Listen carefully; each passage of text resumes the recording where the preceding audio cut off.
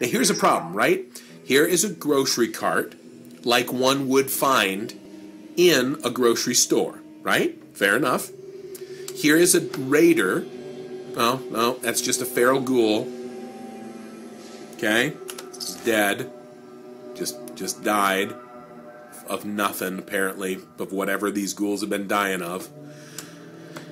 But and so like here's some you know some whatever. It's like some fancy lad snack cakes 200 year old food that's still laying around. It's like twinkies. It's will survive the apocalypse.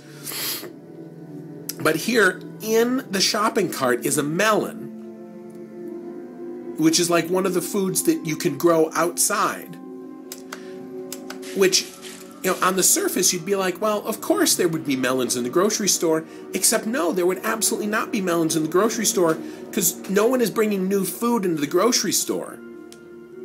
This is a, not a functioning grocery store. It has not been for 200 years. Look, holes in the ceiling. The lights do not work. No stock boys. This means that somebody must have come into this store with melons and put them in this cart and push them around.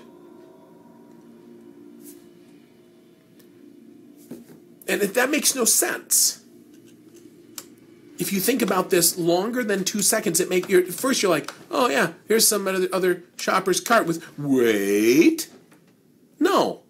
I'm so I you know I would shoot those melons to help blow off some of my rage. That will also blow off some of my rage. I'm sorry you had to hear that. There's not 200 year old melons in this store that they could loot. If the cart was full of like fancy lad snack cakes, that would make sense. But the melons had to have come inside from outside. Yeah, I know I can't I was I'm kind of unhappy that I can't shoot the melons. That's another but that's a different issue. That would require them to like model destruction physics for a fruit. I'm not disappointed that they don't have that in the game. I'm disappointed that somebody took the time to put the melons in the basket, but did not take the time to think about the fact that they should not fucking belong in the basket. They just they don't belong there. Just it's really it's it's galling. More more than a little galling as shown by my inability to get over it. Ding, ding, ding! Just like ducks in a, one of those carnival games. Now, see? These melons. These feral ghouls did not collect these fucking melons. This makes no sense to have these here. There better be, you know, somebody in this game better come and say, Whoa, have you they drove us out of the store. We were trying to revitalize the melon industry. Or something. You know, give me give me something, guys. Ow. Okay, you know, I'm gonna look in this terminal for the sole purpose, right? That there's an explanation. We just got in our shipment of super duper last forever fucking faux melons. This is your chance, Fallout.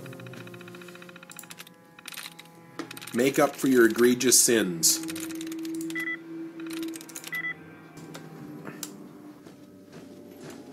Also, I can't knock over these fucking things. I knock over everything else in the game, not those. Ooh, ooh, I'm angry now. I'm angry about these melons. Look at this. This Buffout, it doesn't belong here. That's a drug that came into existence in the future it's got no business being on the shelf here. Mmm. Mmm. Oh, I need whoever did this level. They're pissing me off. I talked about level design in the previous thing, and like, oh, obviously, Stimpak from. Oh, okay, a Minuteman. Dude, why are you even here? Just, dude, I'm in no mood right now.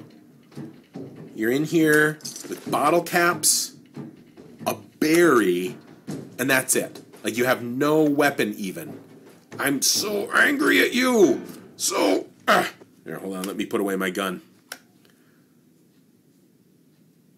Uh, won't let me pick him up again, probably. That's too bad. I was going to give him the shaking of his life. Oh, okay.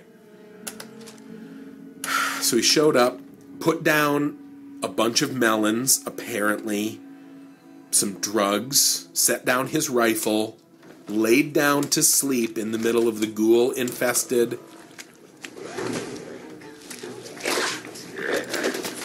Are you a fucking wizard ghoul? Where did you come from?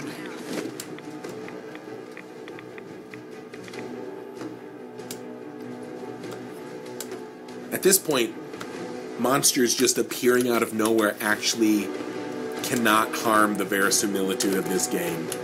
It's like if they showed up with a wizard hat, you know, and we're like, I'm from Slytherin. I'd be like, okay, man. Makes as much sense as anything. I'm serious. Not even gonna loot you. You're you're that insulting to me. You know, don't look at that. Somebody's got some sugar pops and a spoon right on the toilet. That's just gross. I mean, yes, I've rooted around in big sacks of meat that mutants have left, but I haven't eaten a bowl of cereal on an apocalypse toilet. Everyone has to draw a line somewhere. Ah, oh, also this. Look at this. Look at this. How do you find anything in here? Who does this?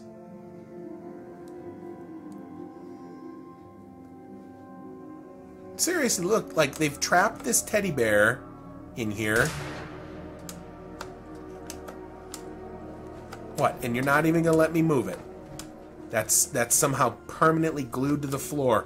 I want that teddy bear!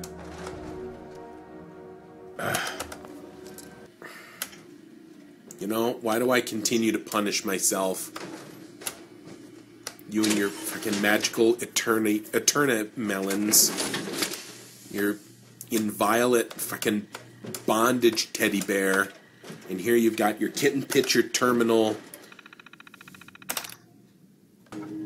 Maybe that was just for just for that person who made this level.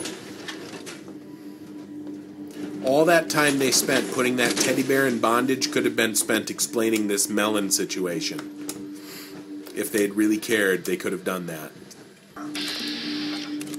Raider scum in a power suit. Ho, ho, ho! Look at that shit! I can shoot his fusion core. That is the best. But you know, I'm not looking for a fight right now. I've just had a really narratively confusing experience in a supermarket. So I'm just going to wander over here and kind of be alone with my thoughts.